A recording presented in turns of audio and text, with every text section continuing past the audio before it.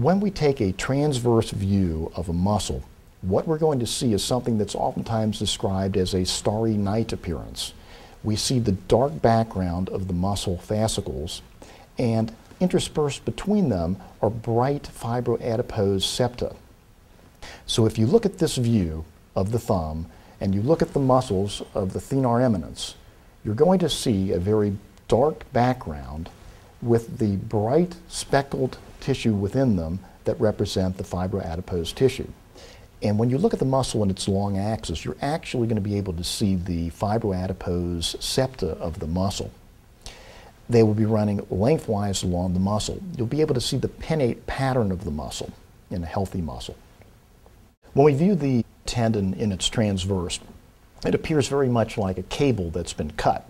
We can see the fibrillar pattern as bright little dots within the tendon, as we're seeing here on the flexor pollicis longus tendon. Now let's look at the tendon in its long axis. As we turn the probe into the long axis of the tendon, we now can see the bright fibers of the tendon in their long axis. We see this fibrillar pattern as described earlier. Lest we forget, ultrasound is a dynamic modality we can have the patient move, or we can move the patient, or we can move the probe around. It's not a static imaging modality. So I'm going to have my patient bend his thumb at this point, and you'll actually see the tendon moving. Next, we're going to look at an image of the bone. Bone is highly reflective of ultrasound. Consequently, it's going to appear very bright, looks almost the same as it does on an x-ray. But the big difference is, is that ultrasound doesn't actually penetrate bone.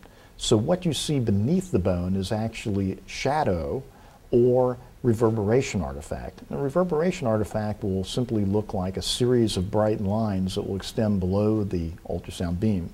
Here you're looking at a long axis view of the patient's first metacarpal bone. Next we're going to look at the nerve in its short and its long axis. The nerve has a honeycombed appearance an appearance that we call fascicular. We see the fascicles of the nerve as dark spots, and we see the surrounding fibroadipose tissues as bright. If we turn the probe into the long axis of the nerve, we now see the nerve as having a railroad track-like appearance, such that we see the dark fascicles of the nerve and the bright fibroadipose tissue now in their length. Next, we're going to look at what a normal artery and vein would appear like. This is also an excellent opportunity when you're learning to scan to practice using light pressure versus heavy pressure with the probe because it can have a significant effect on what you're looking at.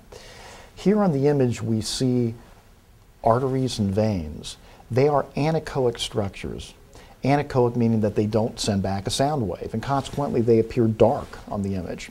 If you apply heavy pressure to the probe, fluid is moved out of the way, and a vein is a typical example of that. If I apply slight pressure to the probe, the vein will collapse, leaving the artery visualized as in this image. As I apply a little greater pressure, it produces a sphygmomanometer-like effect where you'll see the artery pulsating. And this is one way that you can help to differentiate arteries from veins. Another way that you can look at this is by turning on color or power Doppler. On this image, you'll see blood flowing within the artery as a pulsatile flow. If I squeeze the patient's hand, we'll now see blood flowing in their vein.